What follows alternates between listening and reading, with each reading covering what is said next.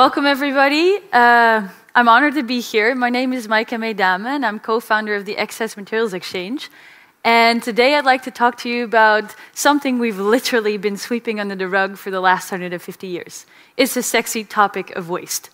And the dictionary defines waste as the loss of something valuable. But let's be honest, waste today doesn't equate something of value. It equates something that is worthless. And that's exactly what we want to change with the excess materials exchange. We want less waste that is worth more. Because now it is just a wasted opportunity. Kilo per kilo, there is more gold in the sewer system than in any, even the most productive gold mines in the world. And when I first heard this, I was like, who is flushing gold down the toilet? But it turns out a city the size of Amsterdam, 10 million euros worth of gold and other precious metals is flushed down the drain every year. And that's not the only thing we throw away. We really, really throw away staggering amount of value. And the real question is how can we get from this to this waste for the valuable resource that it is. And there's three problems. There's a lack of transparency, there's a lack of reliability, and there's no central location. Lack of transparency. We don't know what's in our products. Hence, when we throw it away, we don't know the value of that. Then there's no reliability. There's no standardization, there's no quality control. So if you'd actually want to do something with your waste, that's almost impossible. And then if you eventually overcame, overcame both, then where would you go? There's no central location. So we solved that. We created a digital secure marketplace where companies can buy and sell their excess materials. And this could be anything. Could be gold, could be coffee leftovers, could be heat, whatever. And this enables you to become more resource resilient because you're less dependent on imports from volatile regions. It decreases your environmental impact, which is automatically calculated by our software. It improves your bottom line because now you actually pay to get rid of your waste, whereas then you would get paid for your waste. And it enables you to join a global marketplace where you can turn your trash into cash. So, how are we doing this? With a multi sided platform. We have buyers, sellers, and value added providers, and they provide services and technologies.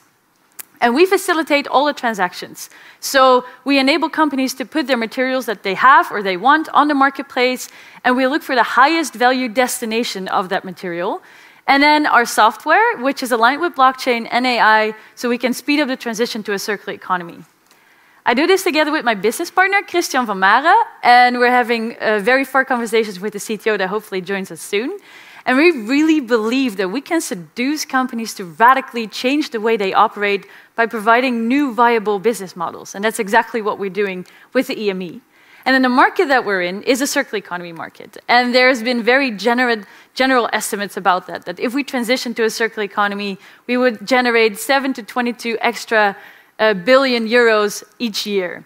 Uh, so we narrowed it down. And in the Netherlands, we use 260 billion kilograms of resources every year. Then we recently signed an agreement that specified that in 2030, 50% of this needs to be non virgin or recycled. Currently, this is 48 billion kilograms, and most of that is resources that have been burned, so that are lost, to recover energy, because energy is included in that 260 billion kilograms. So we need to step up that game majorly. Then our revenue model uh, is a participation model. There's 40,000 companies in the Netherlands that uh, generate enough uh, excess materials, so they are eligible for the excess materials exchange. And if we take a 1% market share, we would generate 610,000 euros of revenue annually.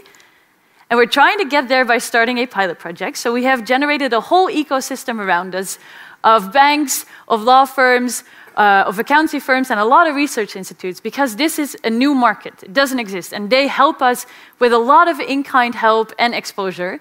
But last night, when I tried to pay at Albert Heijn for my groceries with exposure, they didn't accept that currency. So that's why we need your help. And I'm going to be here for the rest of the afternoon. So if you have any more questions, please come up to me. Thank you.